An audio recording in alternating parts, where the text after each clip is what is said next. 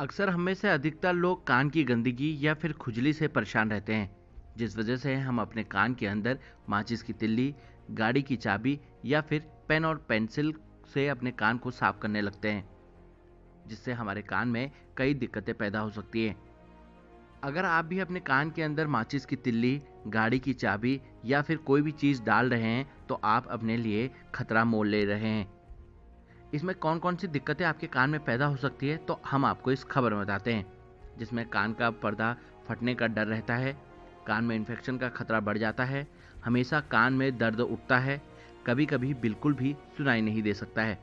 अगर आप भी अपने कान को साफ़ करते समय इन सभी चीज़ों का प्रयोग कर रहे हैं तो आप अपने लिए खतरा मोल ले रहे हैं। इसको लेकर हमने जिला अस्पताल के ENT surgeon doctor Harish Chand Garkoti से खास बातचीत की। उन्होंने इसको लेकर क्या कुछ कहा? आइए हम आपको वो सुनाते हैं। देखिए, इसमें ऐसा है, जब भी लगता है कि उसके कान में कोई प्रॉब्लम हो रही है तो एक ख़ास तौर से चाबी है या कुछ और तीली वगैरह है, लकड़ी है, ये चीज़ें नहीं डालनी चाहिए, है ना? एक अपनी डेली प्रैक्टिस में एक ये बना लेना चाहिए कि आप, जो कॉटन बर्ड्स होती हैं, उनसे डेली आप अपना जब नहाते हैं, उसके बाद डेली अगर आप क्लीन करेंगे तो अब ये मैल जमा होने की संभावना कम रहती है। लेकिन उसके बाद भी अगर आप क्लीन नहीं कर रहे हैं और आपको लगता है कि मेल मेरे जमा हो गया है इसमें उससे पता लग जाएगा या तो पेन होगा या सुनने में उसको तकलीफ़ होगी।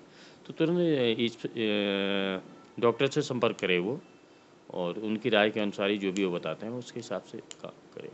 देखिए उससे होता क्या इन चीज़ों से ये, दो चीज़ें होती हैं। या तो अगर सपोज़ मैल वगैरह को नहीं है या है तब भी एक तो कैनाल में चोट लगेगी जो बाहर का जो हमारे कान का हिस्सा होता है। या कान का जो पर्दा, जो मेन जो हमारे सुनने का एक अंग होता है, उसमें चोट लगेगी, उसको डैमेज करेगा, फटेगा, उससे बाद में कॉम्प्लिकेशन क्या होंगे कि उसके बाद वो पकना शुरू हो जाएगा उसकी लापरवाही की वजह से, फिर और ज़्यादा तकलीफ़ बढ़ सकती है। चोट वाले तो मिल जाते हैं, है ना? ऑन एन एवरेज मान के चलें तो महीने में पाँच केस तो मिल जाते हैं। सुझाव है कि अगर कान से रिलेटेड कोई भी संबंधित होती है तो नाक कान गला विशेषज्ञ को दिखाएँ और उनकी जो भी राय होती है उस हिसाब से चले सर कई लोग अपने कानों में तेल जैसी चीज़ें डालते हैं उनके लिए ठीक है या हानिकारक नहीं तेल डालने से न तो कोई फ़ायदा है और न ही कोई नुकसान है तो कोई वो नहीं ज़रूरत ही नहीं है उसकी। अगर आप भी अपने कान को साफ़ करते वक्त इन सभी चीज़ों का प्रयोग कर रहे हैं तो आप अपने लिए और अपने कान के लिए खतरा मोल ले रहे हैं। अगर आपको अपने कान को साफ़ रखना ही है तो आप अपने नज़दीकी डॉक्टर से सलाह मशुरा ले सकते हैं। उत्तराखंड के अल्मोड़ा से मैं रोहित भट्ट, लोकल 18 के लिए।